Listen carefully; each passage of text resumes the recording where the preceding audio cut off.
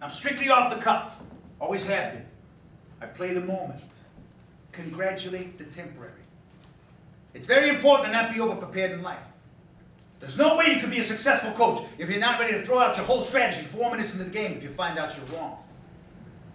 There's no pride in being right if you lose. McGuire the Show is a one-man play about Marquette basketball coach Al McGuire, focusing on uh, really his, his biography, the high points, the low points, but really what some of the things that we remember him for. I mean, he's a, a phenomenally unique person with a, a really unique worldview. I always pour my own beer, because I like lots of foam. Shows it's got life. Who wants a flat beer?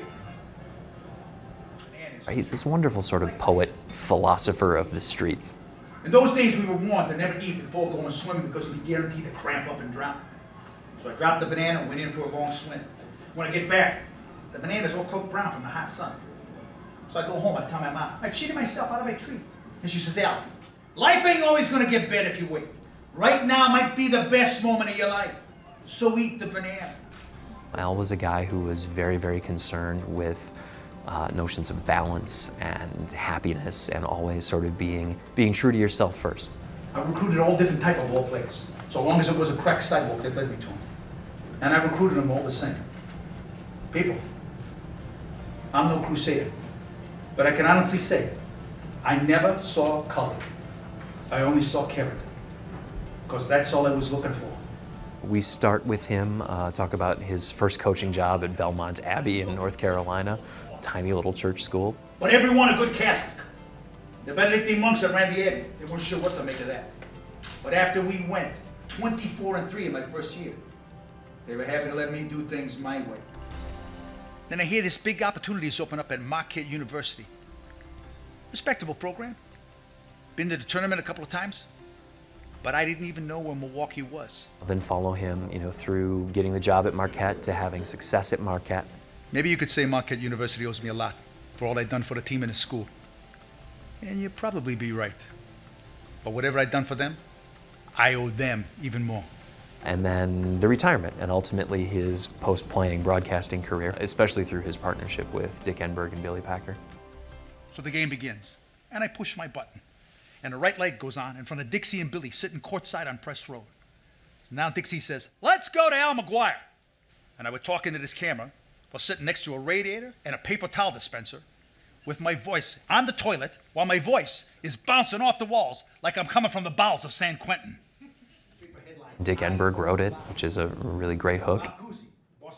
We're about 20 minutes more material now than the original version and looking for uh, a little more dramatic shape, I think, than there was in the original version. Dick himself will say that the first version was really more, uh, more an hour-long tribute to Al. We went 97 and 27 in my first five years. When he died, I started writing down all the wonderful life lessons that he had taught me. And finally, I realized with all the material, there's a play here. This man is worthy uh, of a play, a one-man, one-act play. And the joy for me is, and I've seen almost every performance, is that he comes to life. You know, he was bigger than life uh, before death, and he comes to life again on stage. I play hard nose, and hard nose is Midwest basketball. Of course I know how to recruit, and I'll prove it with my first recruit, Hank Raymonds. And I don't ever worry about the other team. All I care about is what my guys are going to do to them. Stars sort of aligned to have Anthony Crivello play Al. Tony's a Milwaukee guy originally, grew up here, actually went to Marquette while Al was there. I was a student uh, at Marquette for between 1974 and 1976 and uh, wound up being captain of the squad. And because of all of that, I had interaction with, uh, with Al. You know, so I was able to be, by being a cheerleader, I was on the sideline. I saw all that behavior. I had conversations with him. Who knew that many years later, here I am, you know, playing the, the icon that, that I admired as a kid. We don't even have a foul shot yet! These other guys are relatives? Tony is such a, a versatile, facile, emotional actor. The way that he is, is able to explore and express Al's full humanity, for me, is really what makes the thing worth watching. You're taking everything else from me tonight! 85% of the script are direct quotes from Al. Did you know that no is sometimes a good answer? Yes is the best answer, but the worst answer is no. It's maybe. Because maybe puts you off. I'm not trying to do an impersonation of Al McGuire. We want to get the essence of who he is and bring that forward on the stage. For my final confession, I'm going to need a deaf priest. I violated almost all the Ten Commandments about a hundred times, but I didn't kill nobody. Al McGuire saw life and saw it in a different angle than the rest of us, and, and that again was uh, part of what, what made him so appealing. You know what else is healthy?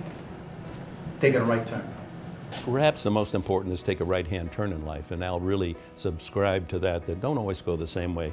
Take a chance and go or right instead of always left, and, and let the unplanned, the unexpected come to you. And I, I think there's application uh, for that for all of us. Congratulate the temporary. Eat the banana. All I'm saying is, go out and meet the guy with the two teeth missing and wearing the ratty pants. You'd be surprised how beautiful the unplanned can be. People still, when you say Al McGuire, they think Milwaukee, they think Marquette, they think of this crazy character who saw the game in a different way. Shout, scream. That's my kind of coaching. That's my world of verbal violence. A lot of people don't understand how it could be like that at a Catholic college. But just because you're religious don't mean you're not tough. Interesting facets to uh, Alfred Emanuel McGuire. It all gets down to love. If we have love, we'll be good.